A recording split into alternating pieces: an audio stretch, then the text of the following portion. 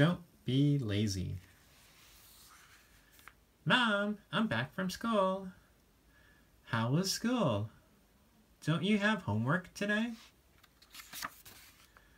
Yes, I do, but I'll do it when I come back. Mom, I'm hungry.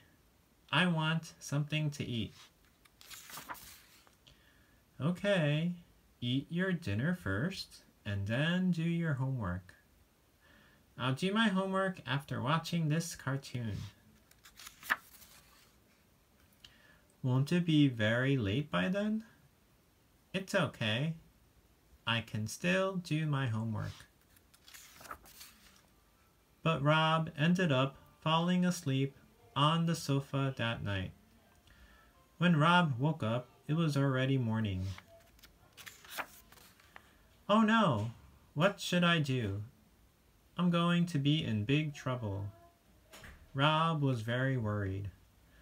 When the teacher started to check everyone's homework, Rob's heart pounded nervously. In the end, Rob was the only person in the class who did not do his homework. Rob felt very embarrassed because he did not do his homework.